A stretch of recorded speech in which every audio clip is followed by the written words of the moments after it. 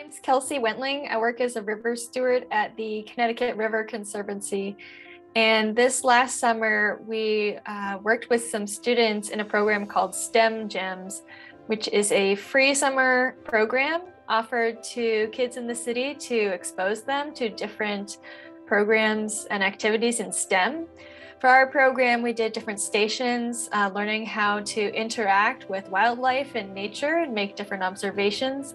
We learned about the river and um, how we can become stewards and conservationists of the Connecticut River and its tributaries. When you give to Steam Train, you help them support programs like this and children in the city.